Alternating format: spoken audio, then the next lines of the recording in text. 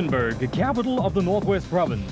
Historically famous for its diamond rush that preceded the discovery of gold on the Witwatersrand. Today, a bustling town at the heart of a mealie and sunflower farming community and the venue for the start of the first round of the 2001 MSA Off-Road Championship, the GC Krobler Lichtenburg 400.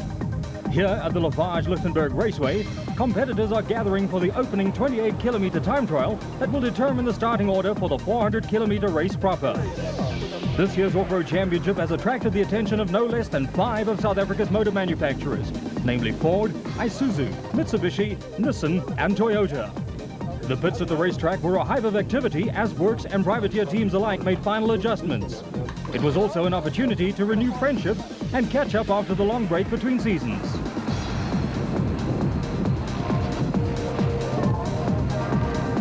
The tranquility of a wetland near the start was shattered by the roar of high-powered engines as the time trial got underway. Hannes Grobler and Richard Leek led the factory Nissan Assault in their Class T Nissan Hardbody, a vehicle that had promised much last year but is still to deliver the goods. A puncture on their super truck thwarted their early efforts and they were able to manage only 8th overall. The Volvo engine Jojo Tanks VW Beetle of Jackie Joubert and Kees Klein had no such problems and finished 6th overall and 4th in Class A in the special vehicle category. The Birkin brothers, Andrew and Chris, also made a good start in their Class E Toyota Hilux 4x4 and would start well ahead of their rivals. Strong contenders for overall honours were the father and son team of Franz Czepek Sr. and Jr. in their V-Motors Chenoweth. Engine problems dropped them to 6th in class and 10th overall, while another father and son team, Robert and Gareth Walk, had a smooth run in their Super Pave Raceco to finish 3rd overall. Yet another father and son pairing, Gary and Bodo Berthold, in their M&E Glass race Raceco, completed the time trial 5th in class and 9th overall.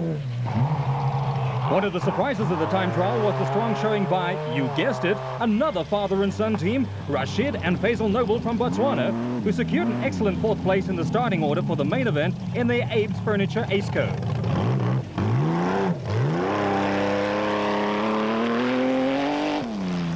Fifth overall and second in the super truck class of the production vehicle category were consistent podium finishers Cliff Barker and Malcolm Hubert in their privately entered and unsponsored Land Rover. Barker, hard at work at the wheel of the BMW M3 engined Land Rover, adopted his usual take no prisoners approach, and here he overtakes the N1 4x4 Toyota Land Cruiser of Cliff Weichelt and Johann Smallberger. Thanks, mate. Despite brake problems, Stratford Worth and Scott Abraham muscled their British V8 engine vacation vans Jeep Cherokee into third in the super truck class and seventh overall. The heaviest vehicle in the 74 car field, weighing in at just under three tons, the Jeep is a firm favorite with the fans. It takes a strong man to hold the bucking wheel and keep the beast on the road. Brothers Harrod and Lawrence Duplessis led the special vehicle charge with an outstanding effort that saw them grab second place overall in their Chenoweth, a mere 19 seconds off the pace. Heroes of the time trial, however, were multiple national production vehicle champions Api Reiniger and Robin Houghton in the factory Castrol Toyota Land Cruiser.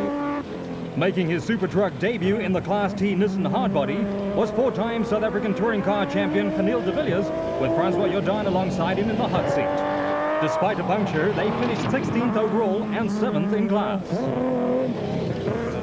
Back in the pits, there was an opportunity to take stock and repair damage. Here's all the damage we De. Villiers, who drove a Class D Nissan Hardbody last year in his first season of off-road racing, enjoyed the ride. It was very exciting. I must say it's, it's a lot less bumpy than the other one that I drove. Um, it's a learning curve. It's something new to me. Um, but we just got to get used to it. I only got the truck together the, early this morning, and um, I must say, I mean, the way it went now, just in the time trial, is amazing. Uh, we had a flat tire and just little small things that aren't right yet, but it's. I think it's going to be good fun and it's going to be very exciting to drive. Former special vehicle champion Bucks Carolyn reveled in his debut in the works Mitsubishi Pajero, with Henny Tostega doing the navigating. The ex-Dakar Pajero, which arrived in the country just days before the GC Krobler Lichtenburg 400, was the center of attention in the pits before the start, and much was expected of it and its team's performance. The ebullient Carolyn was having a ball, and if it had not been for a puncture, they would have finished higher than 14th overall and 5th in class. Lovely, lovely, lovely. Puncher, that's all we had. Eight Ks from the end, we decided just to try and nurse it in because to fix a puncture was five minutes. So we just uh, we just cruised the car in because we couldn't fix a puncture in that time. So the wheel let go at the about 800 meters from the finish. Started chucking. We just went slow and that's us. But we had a great time. It was fantastic out there. I love this car. First single-seater among the special vehicles was the industrious Max Moore in his industrial hardware Mighty Mag.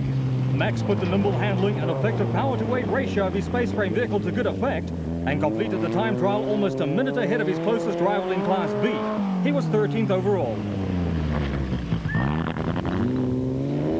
Heading Class D after an incident-free run was the Castrol Toyota Land Cruiser of Shumi van Vieren and Barney Kotzer. They finished 17th overall and just 17 seconds ahead of Niels and Zelda van der Walt in their Nissan Hardbody, setting up the prospect of a good battle for Class D honours. Another steady performance by the Birkin brothers after a problem-free run saw them bring their Toyota Hilux home first in Class E, nearly two and a half minutes ahead of their closest rivals. Former touring car driver Duncan Vos enjoyed his baptism of fire in the Works Class D Nissan Hardbody. Not only did he have to quickly adapt to the unfamiliar art of driving fast on the dirt, but minor mechanical problems intervened and he and navigator Chris Griffiths had to contend with 10th in the class. Closer inspection in the pits revealed that a torsion bar holder had failed. Unbelievable. Yeah, the, uh, Glenn phoned me on Tuesday and he told me to come to Gerotek and I went for a test session with Hannes Grobler in, in his super truck and I couldn't believe how fast it was. Off, off, off, off the road surface, it was unbelievable. It was actually quite terrifying and something that I'm not used to at all. So I'm on a big learning curve and uh, yeah, um, it's a big wake-up call for me. Teams were hard at work making repairs and adjustments for the main event. Brakes disappeared. Thorough preparation is vital for success in off-road racing, as it is in any other form of motorsport. And throughout the pit area, there were signs of technicians hard at work, getting their vehicles ready for Saturday's race, which would be run over two loops. We caught up with third-placed Rob Walk, who was faced with the task of closing a one-minute gap to leader Api Reiniger in the Castrol Toyota. Yeah, we lost the belt five k's before the, the finish. The fan belt broke, well, it came off, and then just before the end, it, it was lying loose and it took the power steering pulley belt off. But it was all right. I think don't think we lost too much time. Castrol Jimco driver Greg Harvey was delightfully honest about his problems. You lost? Yeah, twice, so badly. The ones we were on this side of the fence, we supposed to be on that side of the fence, so... It wasn't marked very well. well there was a green mark. Yeah, yeah. As the pit crews wound up their day's work, ominous storm clouds were building up in the western skies. Would it rain overnight? The top 10 starting order. Api Reiniger, followed by the Duplessis brothers, the Walks, Nobles, Barker and Hubert, Grobler, the Bertholds and the Chepek. Bright and sunny, and unlike usual off-road pre-dawn race starts, this one got underway at a reasonable time, with the first car, the Toyota Land Cruiser Reiniger and Houghton, off at 8 a.m. Everyone seemed to be in high spirits, and overnight rain meant that competitors would expect muddy conditions in the early stages, but no dust. It's a bit wet outside, but uh, it suits us, and uh, we're very happy for being first on the on the road. And I think uh, we'll take it a bit slow this morning. I think it's going to be very wet and slippery, and uh, I would say after an hour or two, it would be quite dry, and then we can send as fast as we can. Reiniger and Houghton got proceedings underway and immediately came to grips with the unusual experience of racing on tar.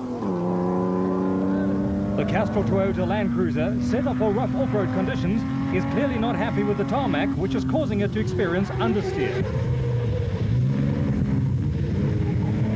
Someone who's experiencing lesser problems is our leading special vehicle contender. Jaar het ons 'n bietjie baie probleme gehad. So hierdie jaar voel baie lekker om hier te staan waar ons nou staan. The Duplessis pair were away next. They prepare their car themselves, and while they used to share the driving, Harrod has in recent times taken charge of the driving duties, with Lawrence handling the navigation. Their Porsche-powered Chenoweth has proved to be a formidable contender in recent events, but somehow seems to be plagued by niggling reliability problems. Hard on the heels of the Duplessis brothers was the father and son pairing of Rob and Gareth Walk, who were followed in quick succession by the Nobles from Gaborone in their Raceco and Cliff Barker and Malcolm Hubert in the Caledon 400 winning Land Rover. Seconds behind Barker was the ever-popular Jackie Hubert, now with rally driver Gijs Klein in the Jojo Tanks VW Volvo. Stratford Voigt, electing to run with the Vacation Vans Jeep Cherokee in two-wheel drive, got underway just ahead of Hannes Grobler in the works Nissan Hardbody in the chase for Class T honours. Passed out of the blocks, Grobler quickly closed down on the Jeep and made up his first place of the morning within a kilometre.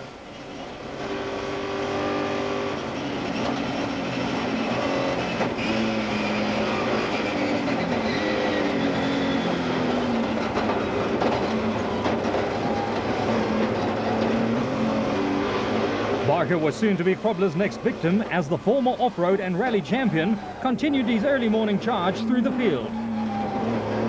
Grobler now found himself in fourth place after starting from eighth with Jackie Hubert in his sights. A wrong slot by the VW Volvo driver handed third place to Grobler and Lee. Ten minutes into the race, Reiniger was maintaining his early lead in a sweet-sounding Castrol Toyota Land Cruiser. The Vryburg farmer had started the day in confident mood, but was tempering his natural instinct to push hard by taking no chances.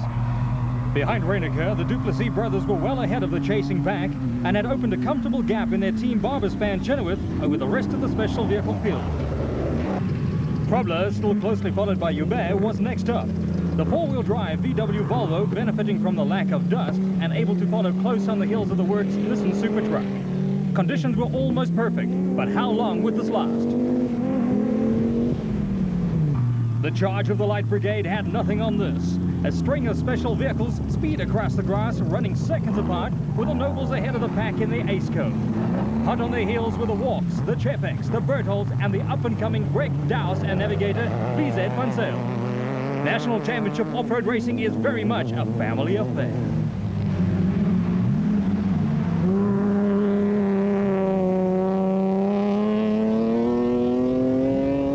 Barker had Giniel de Villiers and Francois Jordan on his tail in the second works Nissan Hardbody Super Truck. The reigning touring car champion now in the top 10 after starting in 16th place. Back on board with Hannes Grobler and Richard Leake. Now in third place with the Duplessis brothers and Reiniger and Houghton in their sights. Drama at the front as Reiniger overshoots a turn and loses the lead to Duplessis, closely followed by Grobler. The Nissan pair immediately take advantage and pass the Chenoweth to take the lead for the first time. But almost immediately he too hesitates and this allows Reiniger to retake the lead, with the Duplessis brothers also getting the better of the Nissan later on.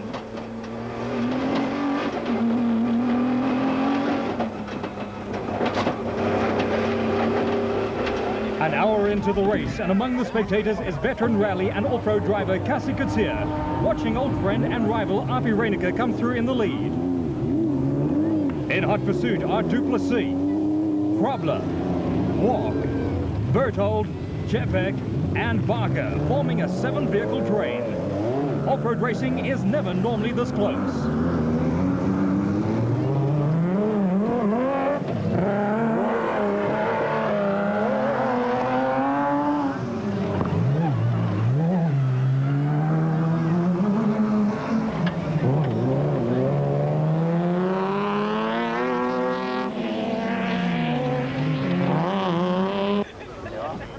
Next up and leading Class D is the works-assisted Castrol Toyota Land Cruiser of Shumi van and Fani Kotzer.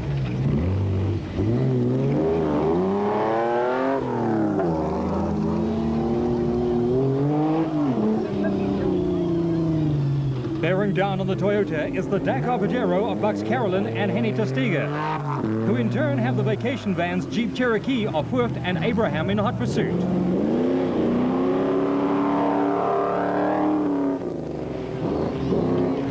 Into the abandoned diamond diggings near Bakerville, Reiniger holds a slender lead over the closing pack of Duplessis, Grobler, Walk, Berthold, Barker, and Chepek. How much pressure can a man take?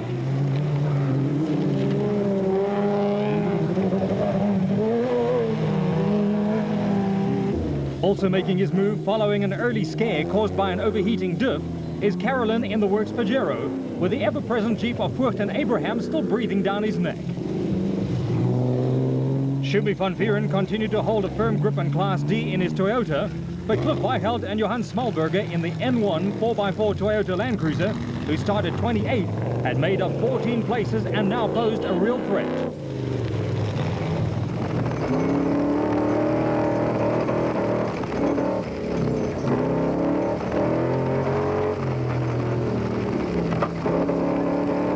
Reigning Class D champion Hein Grobler and navigator Gerard Prinsloo, who started 22nd in their Nissan, were 15th but were destined not to finish. Barberton-based brothers Andrew and Chris Birkin were having a trouble-free run in the Castrol Toyota Hilux and were under no threat from the rest of the competitors in Class E. KwaZulu-Natal crews have invaded Class B of the special vehicle class this season. Gavin Gray and Johan van Jaarsveld were clearly in charge of proceedings in their JRE. Bez and Dion Bezuidenhout, also from KwaZulu-Natal, were running a close second. Leading the Mitsubishi Colt Challenge in the Lichtenburg 400 with Daimler Chrysler export manager Mike Thompson and Brian Haviland. New Ford recruits Manfred Schroeder and Jack Peckham were having a steady run in their Class E diesel-powered Ford Ranger. Almost two and a half hours into the race and there's another change in the order. The Duplessis brothers are now in the lead again. They have the field breathing down their necks, and now there is no room for complacency, even less for error. The Walk father and son pairing pick their way carefully through the twisting dirt tracks and have Grobler and Leek hard on their heels.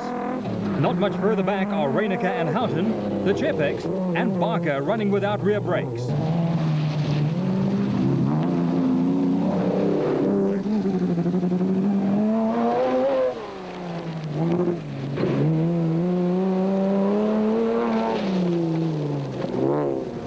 Jeep of Furcht and Abraham has got past the deck of Pajero of Carolyn and Testiga and was closing on Barker's Land Rover.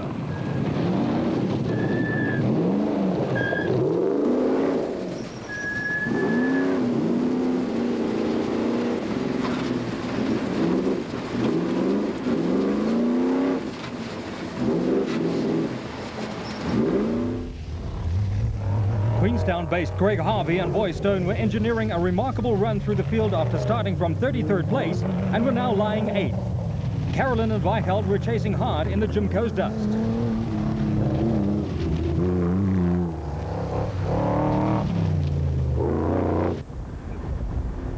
Atang Makakhaneni and former quad champion Evan Hutchinson were in trouble with their brand new 3.6-litre Porsche powered Jimco, smoke signaling an engine problem and early retirement from the race. The end of the first loop and new leaders in the form of the Duplessis brothers. While pit crews refuel the Chenoweth production vehicle category leaders, Reinecker and Houghton arrive and there's a flurry of activity in the Toyota pit. Rob and Gareth Walk have had a problem-free run and are well placed.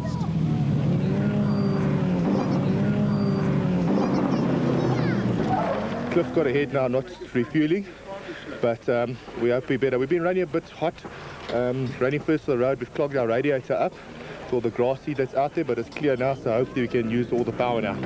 Time for the Toyota pair to get underway and continue the chase after Grobler and Leek in the Nissan, who had a lightning pit stop. But another place lost as the Duplessis leave the pit ahead of them with Walk in hot pursuit. Problems for Chepek Senior and Junior. The Porsche engine doesn't want to start, costing them valuable time as Harvey and Stone head out onto the second loop. A driver change for the Jeep Cherokee. Arthur Abraham joins son Scott in the cockpit, and the pair set off in hot pursuit of the leading pack. Problems in the N1 4x4 camp and frustration for Cliff Weiheld as he waits for the crew to repair the Toyota Land Cruiser. Something's wrong on the brake pedal. It's come loose, so we haven't got brakes, so we can't push out flat out. So just want to sort that out, then we're up and going. Otherwise, the car's going well. Disappointment for Atang Makakhaneni and Evan Hutchinson, who were forced to retire the Jimco. But I'm glad we stopped it before the engine ceased, and it's obviously to save us a lot of time and money in uh, repairing it, but we'll be back again next time. And Richard Leek and the Nissan Hardbody are clearly in control at the head of the chasing pack. Greg Harvey and Boy Stone are on a charge in the Castrol Queen Motorspares Jimco, followed closely by Reinecker and Houghton in the Castrol Toyota Land Cruiser.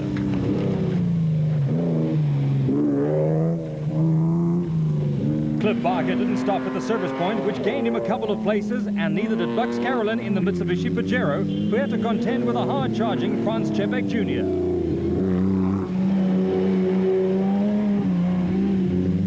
The du Plessis brothers had dropped a few places but were still in contention for a podium finish in the Porsche-powered Chenoweth.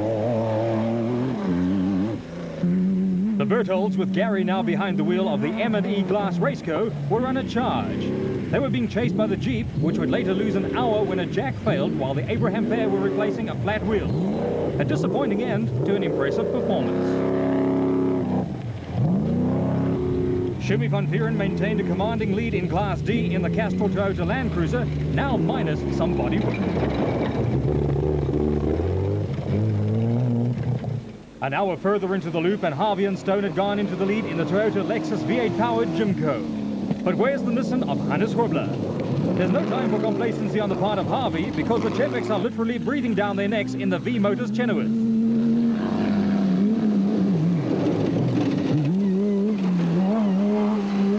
Cliff Barker and Malcolm Joubert in the Land Rover were on a mission to beat all the factory-ended crews in the production vehicle category, but they couldn't afford any mistakes knowing that the experienced Api Reinicker was in hot pursuit and waiting for his chance to grab the lead with an hour to go in the race. Word arrives uh, that Grobler's Nissan has picked up a puncture as eventual Class D winners Shumi van Vieren and Vani Kotze powered their Toyota Land Cruiser along the twisty, bumpy track. Teammates Pitt Haasberg and Christo Vash started 55th and had moved up to 11th at this point.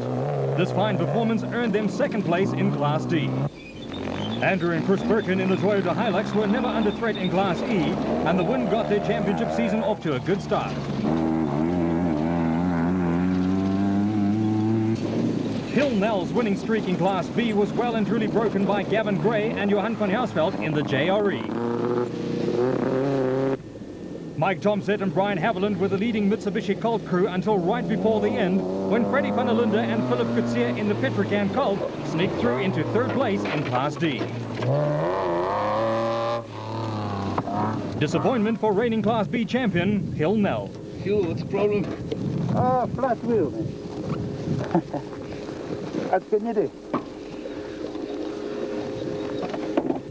Nell loses a place to Max Moore in the Class B Industrial Hardware Mighty Mag, who finishes third in class.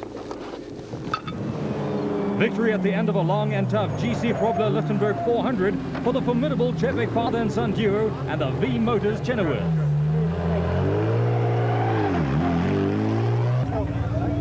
Drama as Greg Harvey and Boy Stone come limping in with their rear tire in shreds. This puncture costing them almost certain victory. Very nice, very nice. You've stolen a win again from it. Yeah, this is a good, a good start to get A1 back. We've been missing it. Uh, last year we had a bit of a bad run, but uh, it's a good start for A1 and uh, we've got four points. So it's a good, good start for the season. We're really happy with that. Results for the special vehicle category have the Chevex taking top honors, with Harvey, du Plessis, Berthold and Walk rounding out the top five. Cliff Barker and Malcolm Joubert achieved their objective of beating the factory teams in their privately entered Land Rover, and Api Reinicker and Robin Houghton in the Castrol Toyota Land Cruiser are left to lick their wounds as they cross the line second. We had a good run. I think the format with everybody starting so close made good racing. We were all close all day. Um, luckily there was no, not much dust. Drama at the finish when Hannes Grobler and Richard Leek arrive in a very battered Nissan hardbody.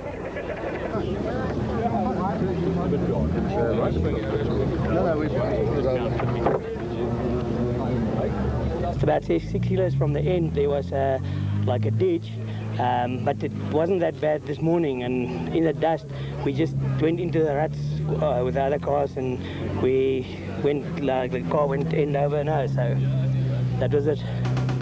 The team of Cliff Barker and Malcolm Joubert placed their privateer Land Rover at the top of the production vehicle log, with Reinicker, Carolyn and Grobler having to wait till the next round to challenge the leaders.